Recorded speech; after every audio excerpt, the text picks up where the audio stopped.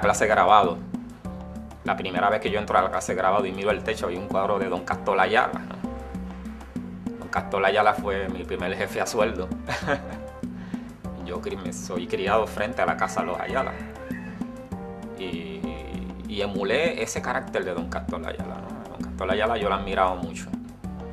Toda la comunidad de, esta área medianía alta, Colobó, Tocones, trabajábamos para Don Castor. Don Castor este reclutaba a, los niños para recoger este coco en el monte, coquitos pequeños.